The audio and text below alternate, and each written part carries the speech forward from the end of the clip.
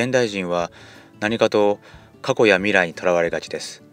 過去のことに後悔したり未来のことに不安を抱いたりなかなか今この瞬間に意識を持ってくるのが難しいようです。その場合によくアドバイスとして五感に集中する。五感に集中すると今この瞬間に意識を持ってきやすいと言われています。その場合私たちは言葉あるいは思考を通して五感を意識しようとします。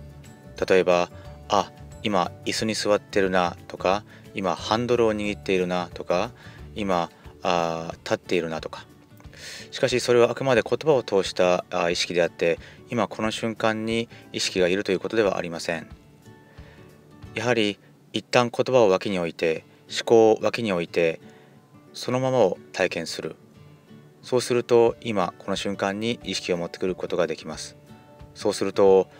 自分の意識がよりクリアに鮮明になりエネルギーが充実してきます。是非今この瞬間をいつでも五感を研ぎ澄まして言葉思考を通さずにそのままありのままに体験してみたいものです。